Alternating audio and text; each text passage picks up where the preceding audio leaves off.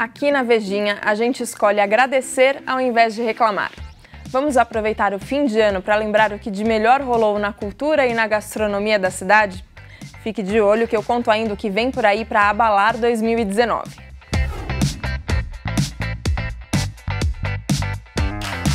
A melhor peça, segundo o nosso crítico de teatro, Dirceu Alves Júnior, foi Love, Love, Love.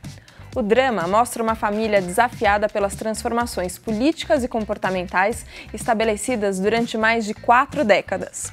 Na sequência veio Elsa, o espetáculo que melhor traduziu as turbulências do polêmico ano de 2018 com direção de Duda Maia e texto de Vinícius Calderoni, a biografia musical da cantora Elza Soares fugiu da narrativa tradicional e transformou a artista dura na queda em um símbolo do povo brasileiro.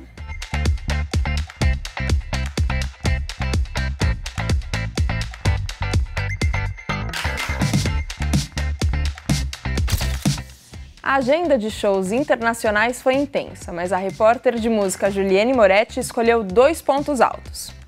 O veterano do pop rock internacional Phil Collins entrou de bengala no palco, mas impressionou todo mundo com a sua voz. Já Roger Waters rendeu polêmicas, mas tornou impossível ficar indiferente ao coral de crianças cantando Another Brick in the Wall. No time brasileiro, o pódio fica com Chico Buarque e os tribalistas.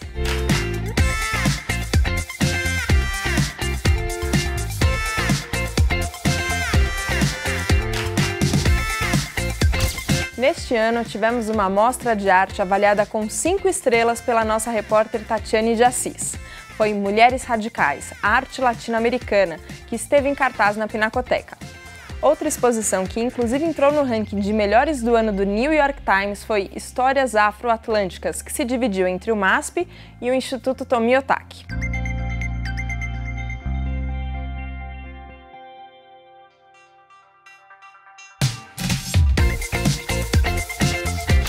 Miguel Barbieri Júnior, nossa estrela da coluna de cinema da Vejinha, escolheu o filme francês 120 batimentos por minuto, um estupendo registro de época com as dores de quem viveu intensamente o drama da luta contra a AIDS.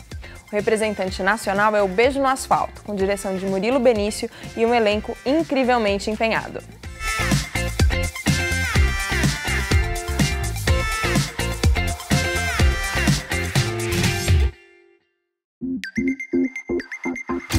O editor sênior da Vejinha, Arnaldo Lorenzato, não tem dúvidas. Em gastronomia, 2018 foi o ano do Vista, que estreou no topo do prédio do MAC USP.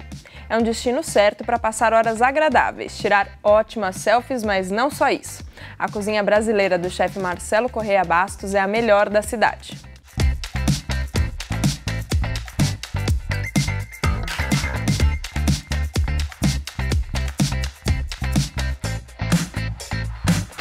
Na seleção de atrações imperdíveis confirmadas para o próximo ano estão um novo espetáculo de tirar o fôlego do Cirque du Soleil, uma grande mostra da Tarsila do Amaral no MASP e shows internacionais de Paul McCartney e Ed Sheeran. Quer mais?